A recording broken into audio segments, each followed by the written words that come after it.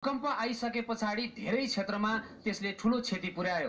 तर नेपाल टेलिकमले भूकम्प पछाडिको त्यस कठिन घडीमा पनि आफ्नो सेवालाई सुचारू रूपमा अगाडि बढायो। छ दिनसम्म सर्वसाधारणका लागि आफ्नो सेवा निशुल्क उपलब्ध गराएर नेपाल टेलिकमले उपभोक्ताको मन जित्न सकेको छ।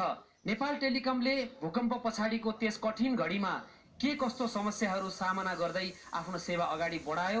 यसबारेमा कुराकानी गर्न मसँग यतिखेर नेपाल टेलिकमका प्रबन्ध निर्देशक बुद्धि प्रसाद आचार्य हुनुहुन्छ।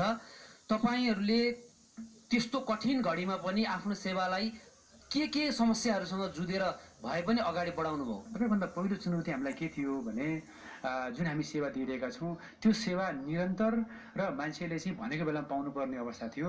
यसको लागि चाहिँ कुनै पनि ठाउँमा उपकरणलाई चाहिँ चुस्त रूपमा राख्नु हाम्रो चाहिँ पहिलो दायित्व थियो। र त्यो गर्नको लागि चाहिँ हामीले टिमलाई अलर्ट राखेका छौँ।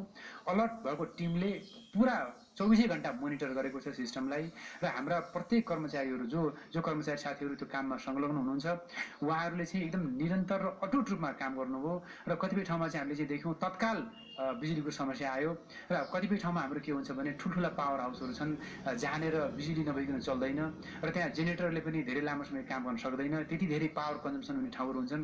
त्यस्तो ठाउँमा हामीले तत्काल वैकल्पिक रूपमा चाहिँ हामीले चाहिँ अन्य छुट्टै के अरे जेनेरेटरको व्यवस्थापन गरेर पावरको सप्लाई आपूर्ति गऱ्यौँ र हामीले चाहिँ सेवा चाहिँ सुचारू गऱ्यौँ। नेपाल टेलिकमले यस्तो कठिन घडीमा पनि आफ्ना सम्पूर्ण संयन्त्रहरूलाई अगाडि बढाएर सेवालाई चुस्त दुरुस्त राख्न र आधारभूत सेवामा कुनै पनि कम्प्रोमाइज हुन नदिन जुन प्रकारको काम गर्यो त्यो जति प्रशंसा गरे पनि कम हुन्छ।